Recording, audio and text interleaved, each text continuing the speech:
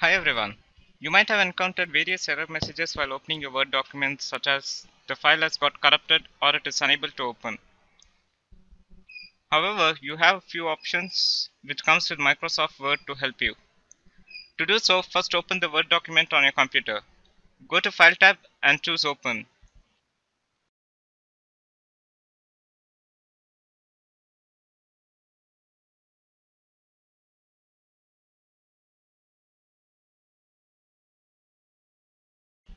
And here is your corrupted Word document.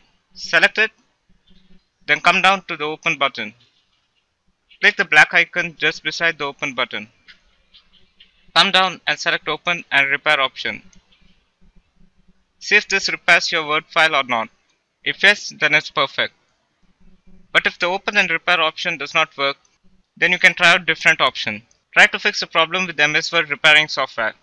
Go to the page and download the software. Once you are done, you can launch it on your computer. First click Browse button and browse your corrupted Word file.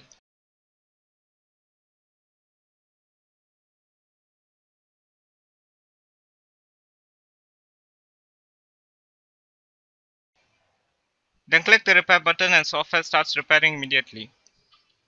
After a few moments, software finishes the repair process and asks to save the repaired document. Choose any safe location and save the Word document.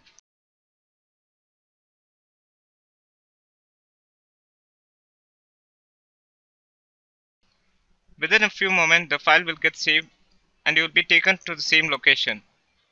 And this is your damaged Word file which is now in healthy condition.